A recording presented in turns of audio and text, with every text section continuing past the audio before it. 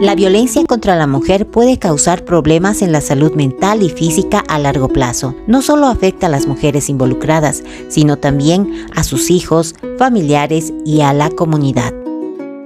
Porque la violencia en el ámbito familiar, en el ámbito doméstico contra la pareja, suele conducir a lo peor.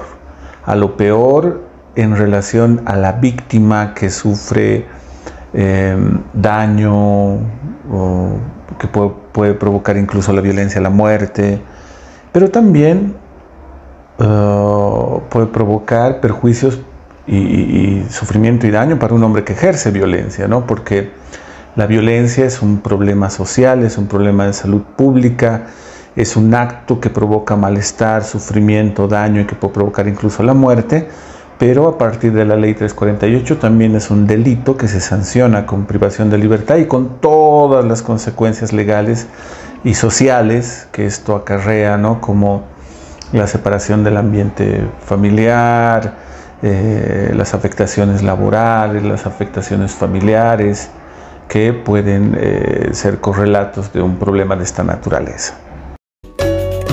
Bolivia es el segundo país de la región con mayores índices de violencia contra la mujer. Siete de cada diez mujeres han sufrido algún tipo de violencia. Bajo este sombrío panorama, autoridades y representantes de instituciones y organizaciones sociales ponen el hombro para trabajar y reducir la violencia contra la mujer.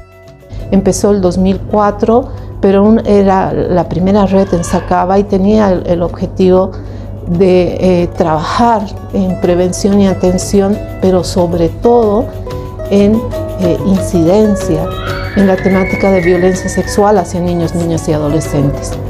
Pero por la misma dinámica del municipio y por, las instituciones que se iban sumando, se decidió pues que sea una red eh, interinstitucional contra la violencia, es decir, varios tipos de violencia que se ejercen contra eh, la población infantil, de niños, niñas, adolescentes, eh, de personas con discapacidad, eh, de, hombres, ¿no? Una red mucho más amplia, pero siempre pensando en aquellas personas, en aquellos sujetos, en, aquellas mujeres, niños, niñas y adolescentes más vulnerables, ¿no? En la capital de la provincia Chapare, la red interinstitucional de lucha contra la violencia, del que son parte diversas instituciones, articularon esfuerzos con el único propósito, una vida plena, libre de violencia. El empeño de poder estar en la red es para saber proteger los derechos de mis compañeras, nuestros derechos, que no haya una violencia. Cuando uno sufre violencia no, no, no permite que otras personas también pasen esa violencia. Tratar de unirnos así en asociaciones, en federaciones para poder nosotros defender nuestros derechos. La articulación de varias instituciones entre el gobierno municipal, organizaciones no gubernamentales, organizaciones sociales de mujeres, del transporte y de instituciones de la Iglesia permitido fortalecer el trabajo de lucha contra la violencia, además del trabajo que presta los servicios legales integrales municipales, logrando llegar a una mayor cantidad de población sacabeña a través de convenios y alianzas institucionales. Como PTV también somos parte de lo que es la red interinstitucional de lucha contra la violencia acá en Sacaba. Me parece un movimiento muy importante para gestión humana. La red está conformada por varias instituciones que trabajan bueno, transversalmente en temáticas de violencia y me parece que el impulso, el apoyo que dan desde la red eh, es sumamente importante, ¿no? Y la iniciativa también del, del, gobierno autónomo municipal de, se acaba de incorporar mediante el convenio ya a, a, un personal psicólogo que se eh, enfoque exclusivamente al trabajo con esta población de varones que ejercen violencia o que tienen conductas. Eh, me parece sumamente importante y un buen paso para bueno, garantizar una vida libre de, de violencia. ¿no? El trabajo articulado de la Red Interinstitucional de Lucha contra la Violencia ha alcanzado logros importantes nosotros como gobierno autónomo municipal estamos con ese fin de poder luchar contra la violencia y ser pues un municipio libre de violencia. Y para eso, por supuesto, tenemos que asumir responsabilidades interinstitucionales. Entre los principales logros podemos mencionar el fortalecimiento de los SLIM con equipos interdisciplinarios completos en diferentes distritos. Mi persona trabaja desde la gestión 2018 en SLIM Defensoría Distrito 2 Quintanilla a lo largo de este tiempo hemos visto que el SLIM ha podido implementar más profesionales al servicio de la población. Si un, si un SLIM cuenta con un equipo multidisciplinario, se va a poder intervenir de mejor manera el caso, ¿no? Desde área legal, área psicológica, área social.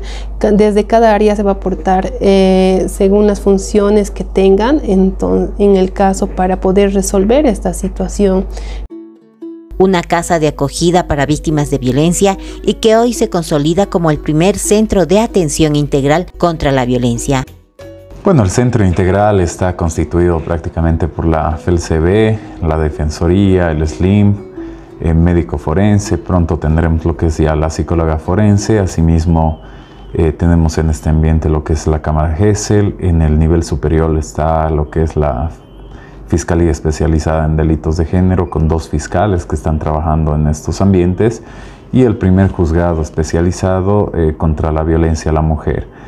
Eh, el avance que hemos tenido a través de lo que es la inauguración del centro integral pues es bastante positivo ya que eh, toda la atención de los casos que, que realizamos en este ambiente pues es de manera integral, oportuna y objetiva cumpliendo con, con, lo que establece la ley 348, la ley 548 y otras normativas más que aplican a personas en situación de vulnerabilidad y en situación de violencia. Pero las acciones de prevención se potencian aún más a través de una planificación estratégica anual de la que son parte todas las instituciones de la red de lucha contra la violencia del municipio de Sacaba. Un proyecto conjunto entre todas las instituciones de la red donde se incluía también a las instituciones públicas como la Defensoría y el SLIM de prevención en unidades educativas. ¿no? Fue un proyecto de dos años donde todos pusimos, no, no, teníamos un presupuesto específico, pero todos pusimos lo que tenemos y lo que sabemos. ¿no? Entonces considero que ese ha sido también un esfuerzo muy grande, eh, muy importante y que Em, responde ¿no? a los objetivos de la red. El impulso para la casa de acogida, realmente para entonces no se había hecho, hemos sacado votos resolutivos donde hemos apurado con la licenciada Pilar Ponce de León, con ella hemos trabajado también para poder ser que se haga un logro, lo que ahora es la casa de acogida que está interactuando con diferentes eh, instituciones allá. Los avances alcanzados para reducir la violencia en contra de las mujeres en el municipio de Esacaba son importantes y aunque falta mucho camino por recorrer, el compromiso de cada una de las instancias está más vigente que nunca. La verdad que es un paso gigantesco para el municipio de Esacaba, ¿no? El poder integrar a todas estas instituciones encargadas de la violencia. Em, tenerlas aquí es pues evitar que estas víctimas estén peregrinando de un lugar a otro en busca de lo que es ayuda y pues estamos logrando eh, dar una atención de calidez, de calidad y sobre todo pues oportuna. Lo que implica también la necesidad de contar con ambientes eh, con mejor infraestructura, más amplios y también mayor personal lo que lamentablemente no, está, ah, no, es fácil de considerar, ¿no? implica muchos aspectos. Parte de toda esta ruta de atención y prevención de la violencia es la sociedad civil, que a través de organismos como las promotoras comunitarias y edoactivistas trabajan de cerca con la población más vulnerable. Yo promotoras comunitarias, Nuarmicuna, Derechos Nimanta Arigo.